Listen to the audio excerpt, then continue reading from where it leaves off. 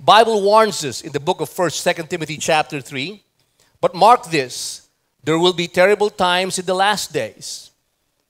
This is being said to us as Christians, and this message is particularly for those of us who claim to be believers of Christ. It says, people will be lovers of themselves, lovers of money, boastful and proud, abusive, disobedient to their parents, ungrateful, unholy, and without love, unforgiving, slanderous, without self control, brutal, not lovers of good, treacherous, rash, conceited, lovers of pleasure rather than lovers of God. Stern warning, which sometimes we use religion, we use cover up, we use vain tradition to pretend that we are actually Christians, and yet the Bible tells us that's not what Christianity is. It's a dangerous thing. And through the years, you watch how Holy Week has unfolded. On the one hand, you've got Fat Tuesday. On the exact opposite, it says it has a form of godliness, but it's denying its power, and it says, have nothing to do with these people. There is a form of godliness. The other extreme of Holy Week, as we enter into, is this idea of whipping oneself, of self sacrifice, of making sure that you get enough pain to pay for your sins.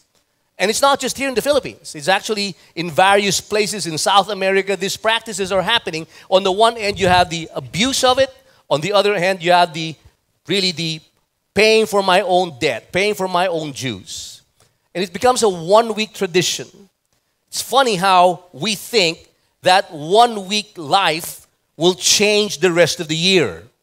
It would be like saying, if I exercise one week in a year, I will be healthy for the whole year. How many of you know that's not right?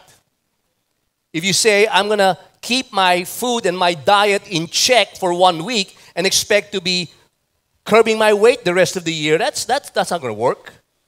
If we're saying I'm going to save money for a week to make, have all the money I need for a year, that still won't work. And it's similar to the way we treat Holy Week, where we set ourselves up with a tradition that lasts for a week rather than living the life that Christ had intended us to live as believers. Let's take a look at the book of Romans. Let's start with what Jesus did for us. Romans chapter 6, verse 9. For we know that since Christ was raised from the dead, he cannot die again death no longer has mastery over him. First thing I want to point out what did Jesus do, do for me? What has he actually accomplished? The first thing it says here is that Christ was raised from the dead and he's no longer going to die again. This is important for you to understand. Regardless of who you are, regardless of how many vitamins you drink, regardless of all the Botox you're going to put in your face, regardless of how hard you exercise, there's a limit to this physical body. This body is subject to decay, and no matter who we are or where we are, no matter how old you are, at some point in time, we're going to